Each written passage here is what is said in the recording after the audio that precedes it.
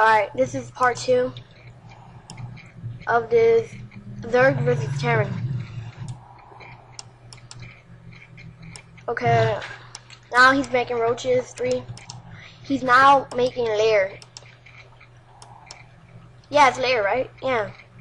Yeah, it's lair. Okay. Um, my economy is still bigger than his. And I have these marines. Yeah, I'm researching the concussive shells. This guy sucks so bad. Um, yeah. Still making Overlord and drones. Alright. Mm -hmm. Alright. Um, I got this factory, but I'm not doing anything with it. And I lowered these, um, supply depot for something. Making another supply depot and a, um, tech lab for siege tanks. Finally, the hatchery is done, transferring some two drones to mine, and I'm finally moving out.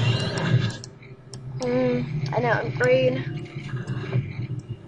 Okay. So this overlord is gonna spot my squad moving out.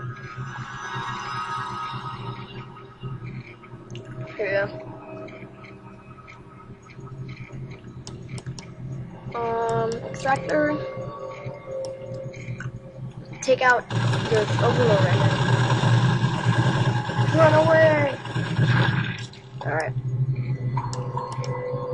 He's, he's, um, supply locked, so he can't produce any, anything else. These drones are not doing anything. Activating the Xel'Naga tower.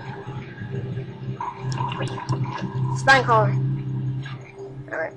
Is he making any overlord? And I scan right here. I'm like, wow, this guy is super noob. So I'm gonna move out these forces. Alright.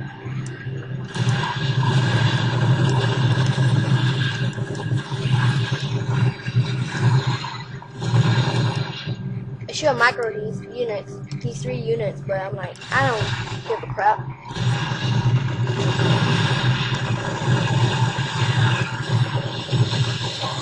Oh, there we go. Alright. Microing a little bit. Alright. And is GG for him. I hope you enjoyed my first commentary. If you didn't, well, I'm trying to get better at commentary. So, hope you liked it. Please subscribe, comment, rate. Um, I'll be making more StarCraft 2 videos later on. Alright, see you guys.